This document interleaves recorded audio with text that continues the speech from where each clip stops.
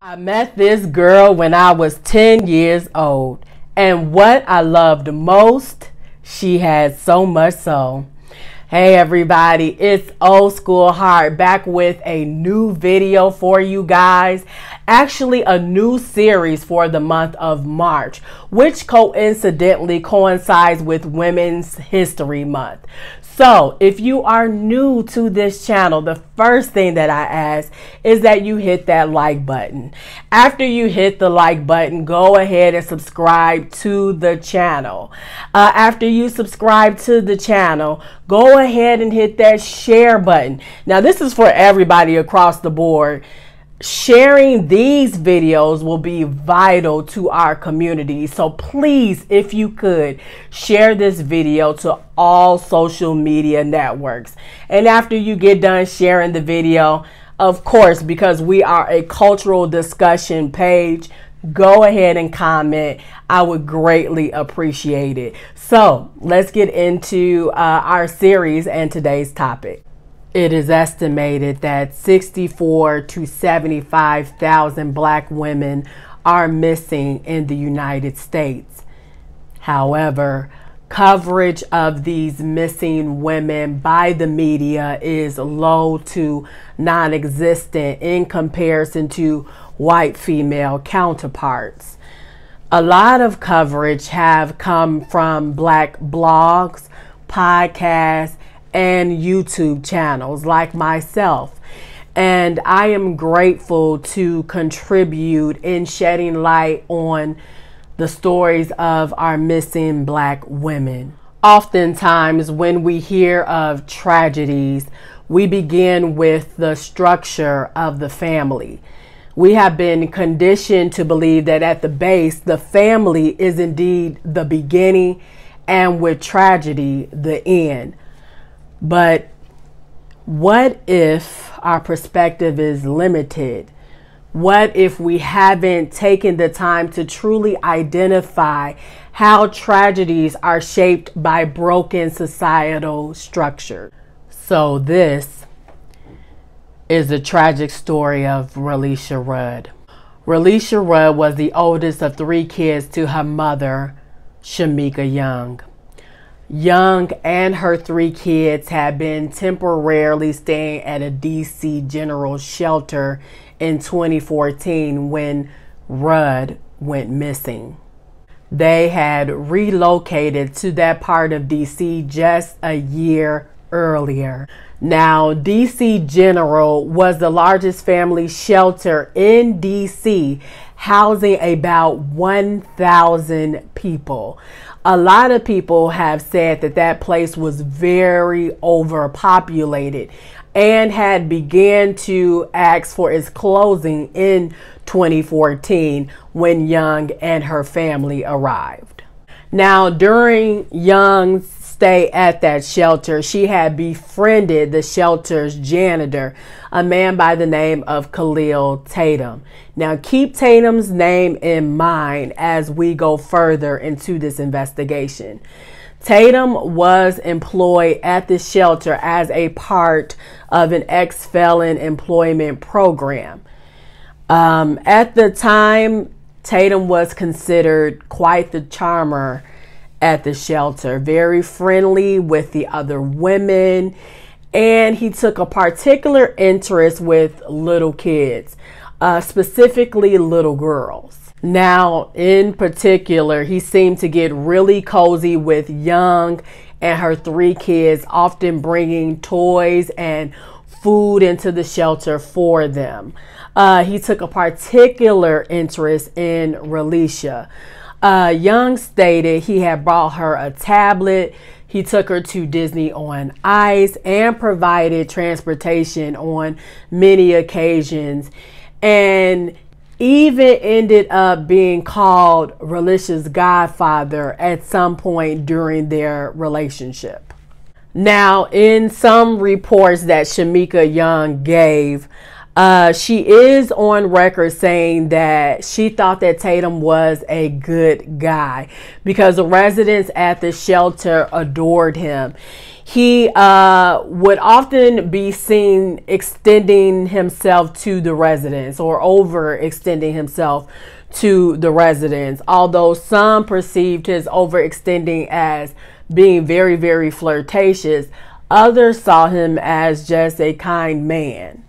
So when Tatum asked Young if it was okay to take the girl overnight to visit his grandmother, Young did not have any uh, problem with it because she had let Relisha spend the night with Tatum before.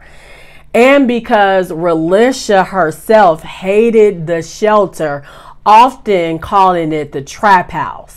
So, in Shamika's eyes, it was normal for Relisha to stay with Tatum overnight. It, this wasn't the first time or the second time that this had occurred. It had often occurred quite a bit because Relisha did not like living in the shelter, especially because it was overpopulated, as I stated before. So Shamika Young had no problems with this uh, stay overnight with Tatum.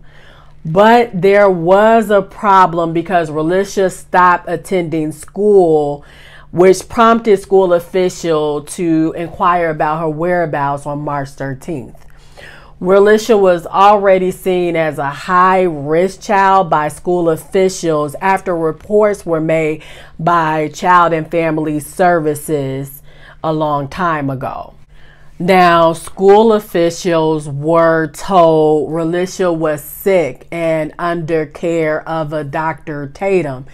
They were even provided a note by Shamika Young stating that she was underneath care of a Dr. Tatum as well. Now, after several days of no shows of Relisha, school officials asked for a meeting with this Dr. Tatum to discuss Relisha's condition.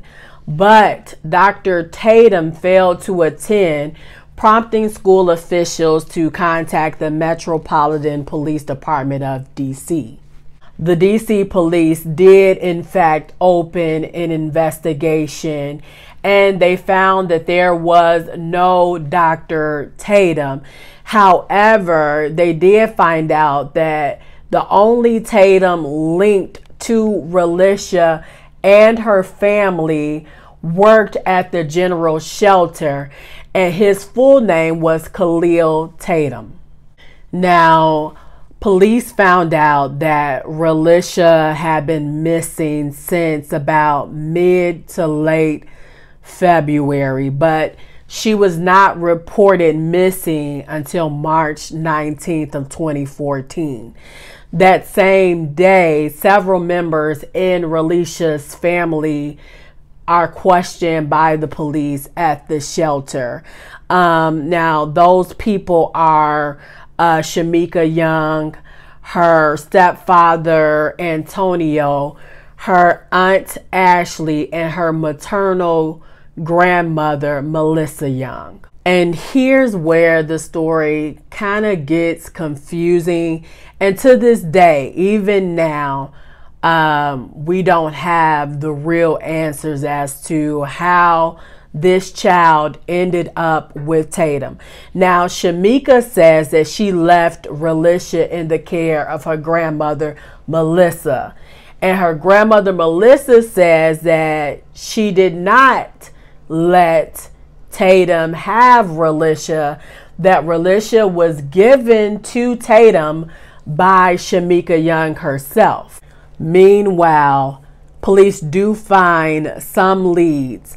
We do see that Relisha and Kahlil Tatum are seen on March 1st, 2014 at a Days Inn.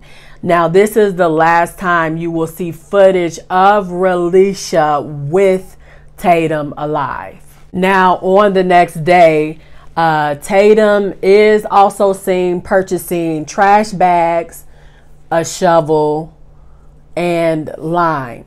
Now, he and his wife, whom I'm unsure if Shamika was aware of this wife or not, uh, they're also seen checking into a Red Roof Hotel in Maryland.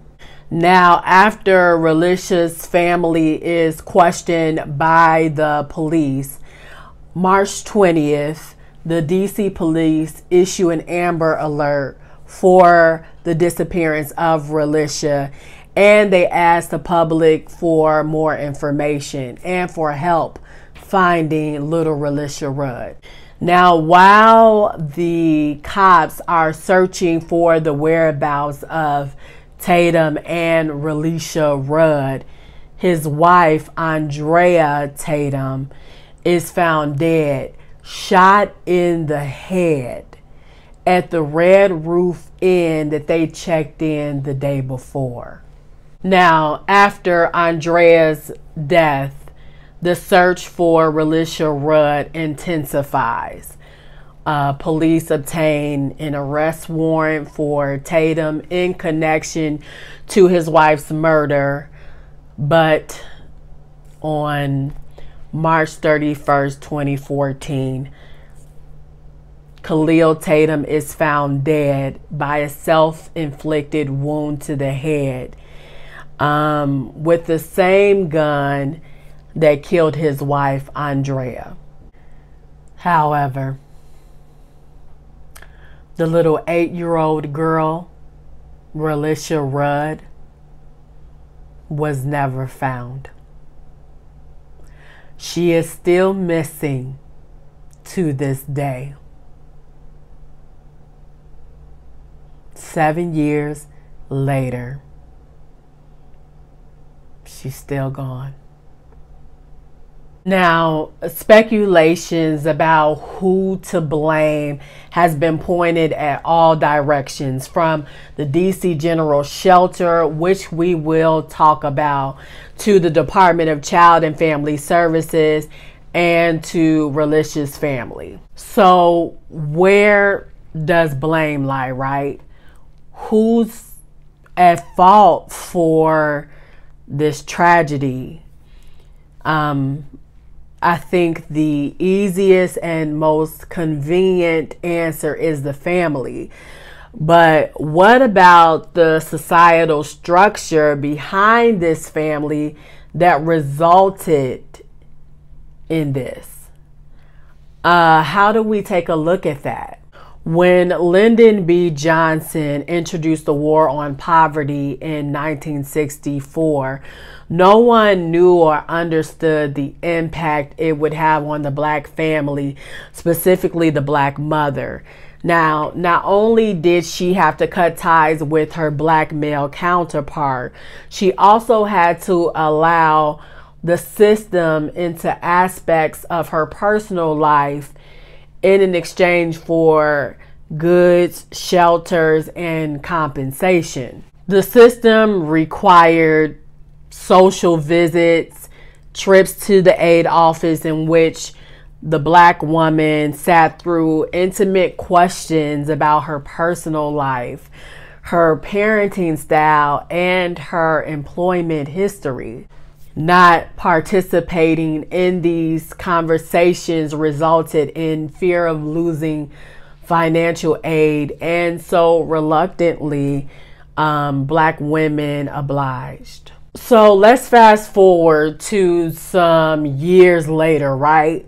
Uh, this was no different for Relisha's mom, who had been scrutinized for not coming forward with Relisha's whereabouts, right?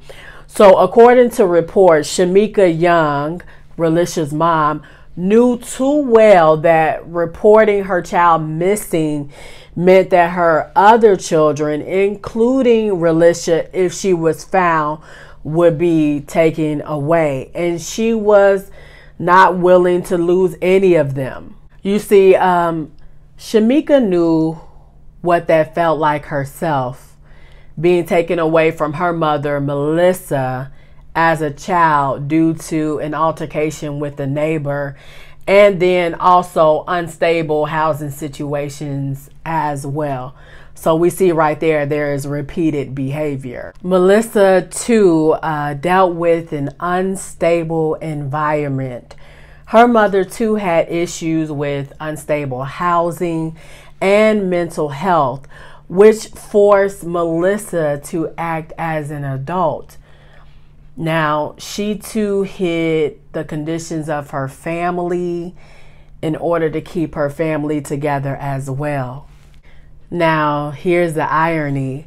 Simultaneously, the system we rely on to stabilize our family financially is also the system that we fear if we cannot stabilize our family. Now, see, um, I believe that this family deals with what African American descendants of slaves have dealt with since the beginning, and that is the effects of slavery, Jim Crow, redlining, um, that resulted in generational poverty. And instead of giving us what we were owed, we were given social programs that intruded the black family structure, uh, resulting in single parent family homes and mothers who depended on a system while also hating the intrusion of said system. Poverty um, introduced Shamika into a life of secrets and a cycle that she knew all too well. She had no strangers because she often lived amongst them. Even her sister Ashley reports she spent time in that same shelter that Relisha was taken from. Uh, so it's no surprise that she meets and trusts Tatum.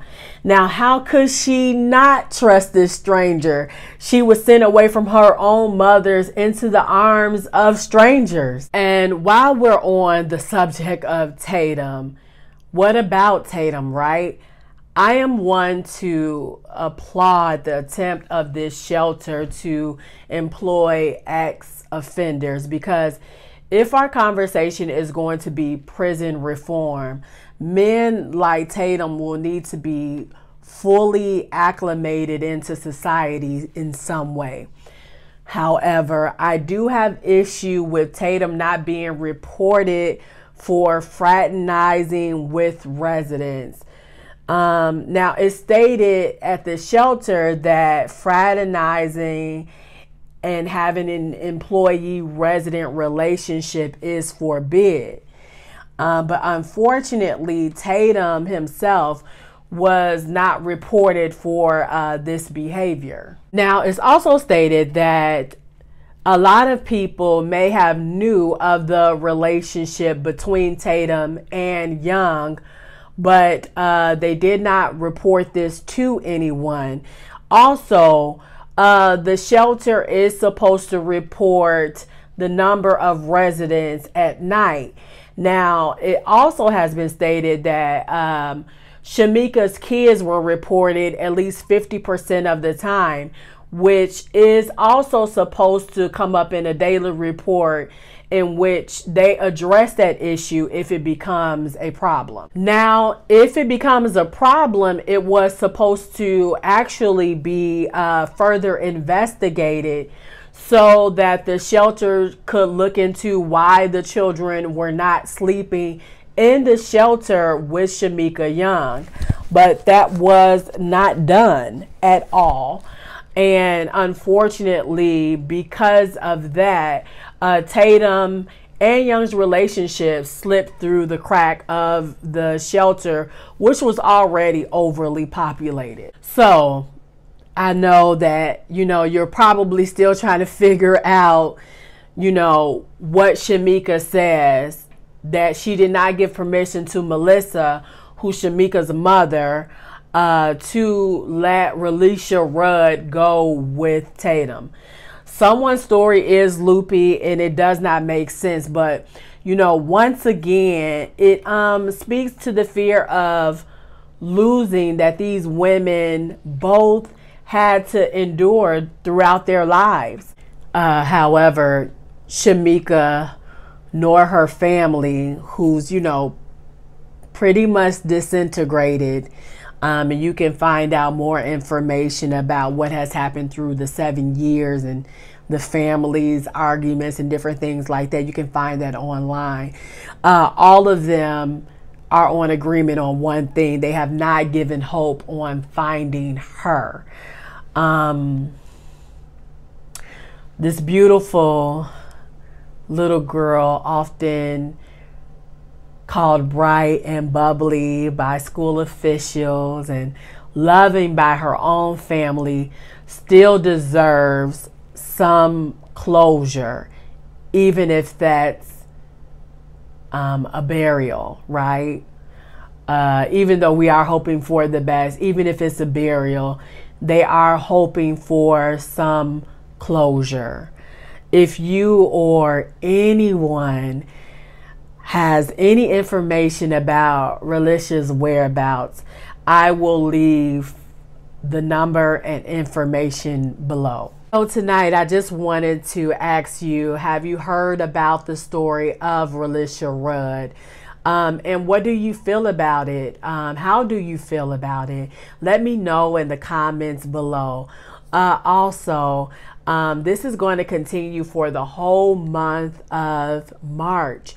Every Wednesday, I will be giving you another Where My Girls At story in honor of Women's History Month. And so, hopefully you'll look forward to that. Um, you'll share these types of videos and you'll add to the discussion about um, these missing black girls and the lack of coverage uh, by the media. So uh, leave your comments below, share this video, like this video. I will see you very soon because we all know Coming to America is coming out this Friday, and I'm most definitely going to review it. So be on the lookout for that. But please enjoy the rest of your night. Be safe, and I'll talk to you later. Bye bye.